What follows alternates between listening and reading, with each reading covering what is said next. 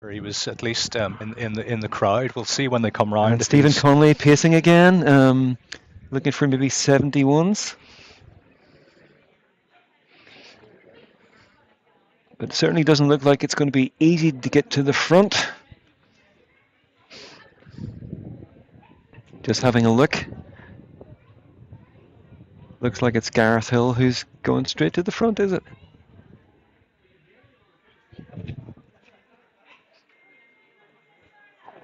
Yeah, Gareth, not in the normal club vest, is, is taking on the pace, followed by the pacemaker Stephen Connolly. We have Ryan Smith from Annadale Striders, recently ran for Ireland in uh, the World Mountain Running Championships in uh, the Canary Islands, I believe. Um, had a difficult season, um, but hopefully is starting to show a bit of form again. I think we've Adam Hilditch in this race also, and Owen Carlton. So there's a little group of three striders just towards the back of uh, the main group. But for the moment, it's Gareth Hill who's pushing the pace on.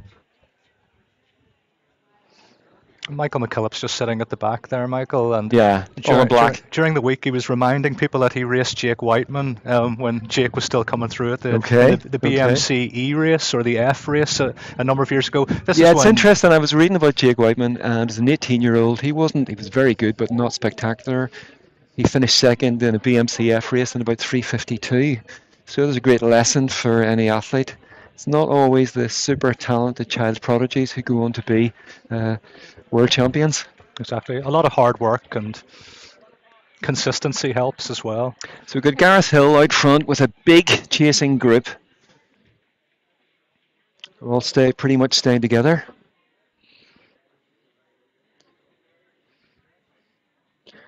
When they come round uh, to two laps, we'll get a, a bit of a feel for the pace, see what kind of schedule they're on for.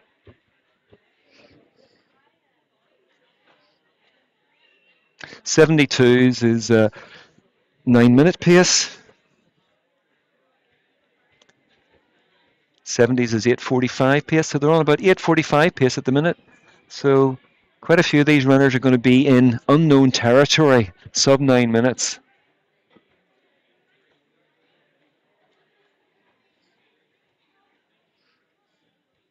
And you can just see with this pace, the consistent pace, the group behind Gareth is starting to stretch a little bit.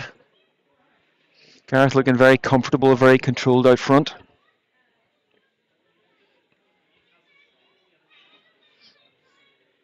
Gareth at his uh, best is a 350 1500 runner, a 150 800 runner. Not sure what his PB is for 3K, but I would suspect it's in the 830 region. Um, so again, a very competent, uh, very experienced athlete.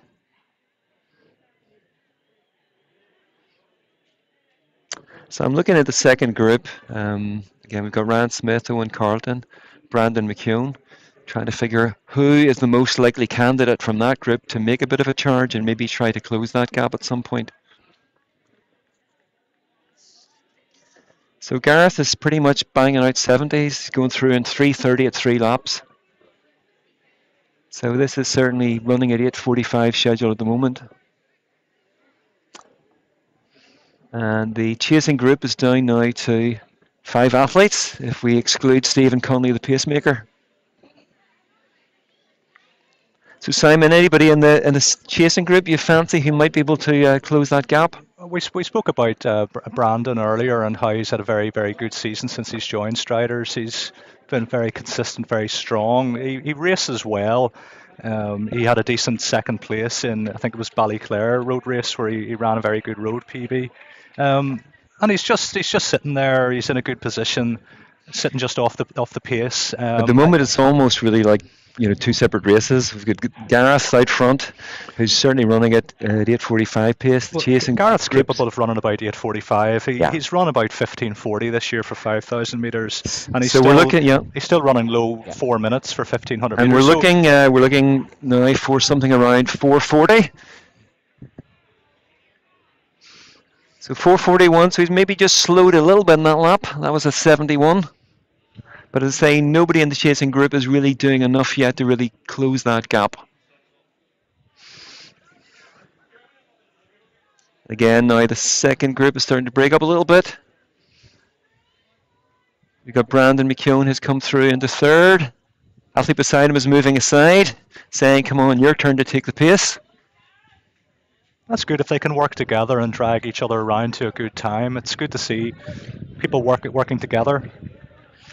Of course, if it denies so that's Aaron McGrady and number 83, Owen Carlton, up into fourth now.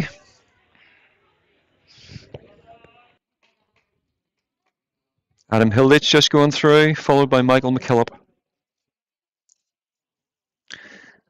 This is a pretty impressive run by Gareth so far. He looks you know, fairly imperious out there, striding away. Gareth's still a very competitive senior athlete. He's now in the masters categories, but he, he still races at um, at a high at a high level. And it, it's good to see uh, Mick McKillop here as well. You know, he, he know, he's no longer running sort of uh, competitively, but he's he's out here supporting this, and he's still running very very very good times.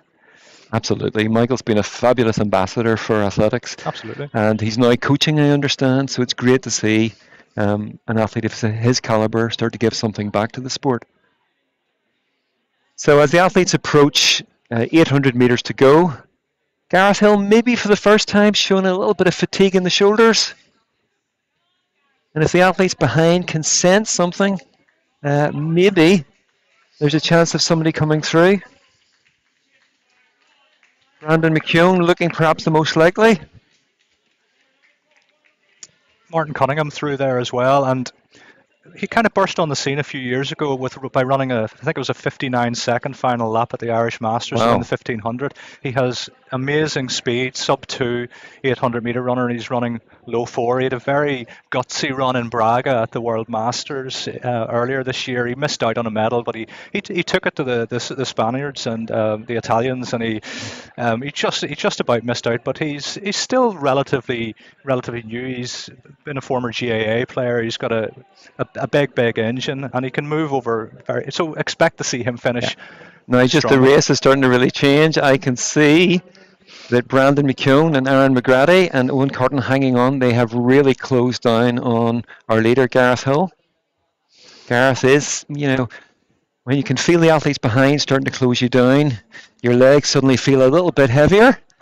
And this race is really on. We've got Brandon McKeown has ran a really smart race and has come right into contention. And if anything is looking the likelier with Aaron McGrady, so have new leader with a lap to go. Brandon McKeown, closely followed by Aaron McGrady. Take the bell.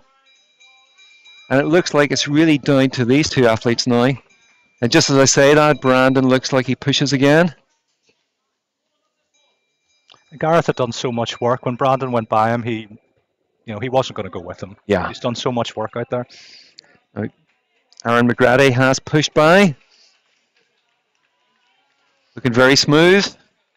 He's got that little gap of a couple of yards. Brandon's got to really dig in. Owen Carlton comes through into third place. Again, looking at times, this is going to be certainly be a sub nine race. So Aaron looking anxiously about him there, whether or not he's got anything left in those legs. And he kicks again. He kicks again. And it looks like Aaron McGrady just is going to have enough to get home ahead of Brandon McKeown. But for Brandon, it's going to be a huge PB. Looking for a run of just under 850 or thereabouts. Owen Carlton also going to break nine minutes, as will Gareth Hill. Some really good performances. And Ryan Smith producing a good burst down the finishing straight.